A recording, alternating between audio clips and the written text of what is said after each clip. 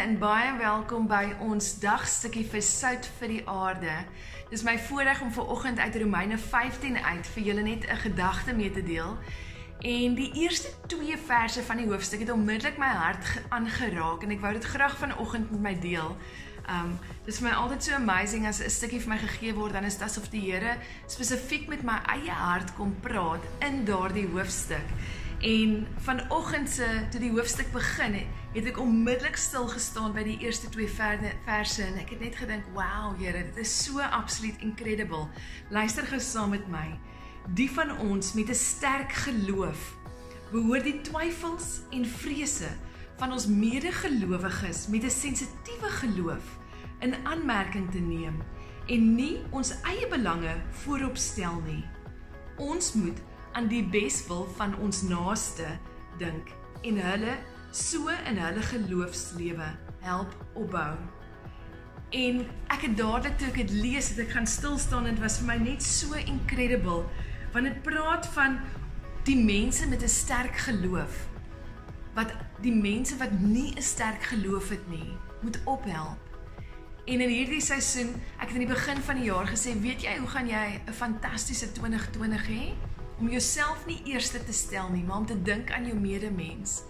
En in Romeine 15 kom God en hy sê net vir ons, weet jy kind van God, as jou geloof sterk is, is dit 'n voorreg wat jy het, maar moenie dit net vir jouself hou nie. Gaan deel dit met ander. Help die wie se geloof nie meer so sterk is nie.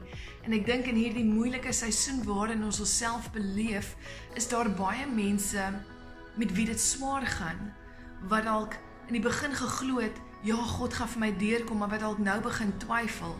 En watter voorreg om sout vir die aarde te mag wees om na daardie mense toe te kan gaan en te sê, weet jy wat, dit gaan moeilik, maar God se hart aangaande jou het nie verander nie.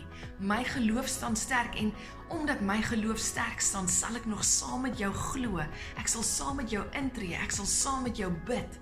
So en en hoe mooi is dit want wat ons doen is ons vat en ons hou mekaar se arms omhoog ons ondersteun mekaar.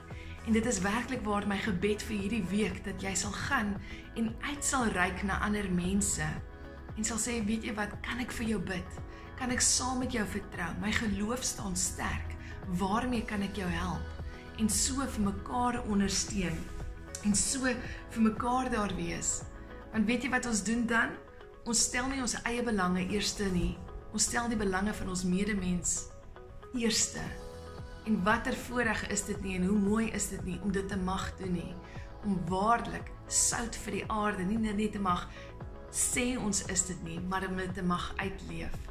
Mag hierdie week jou seën, mag jy 'n absoluut fenominale week hê en kyk uit vir môre oggend se stukkie. Blessings aan daardie kant. Totsiens. thank you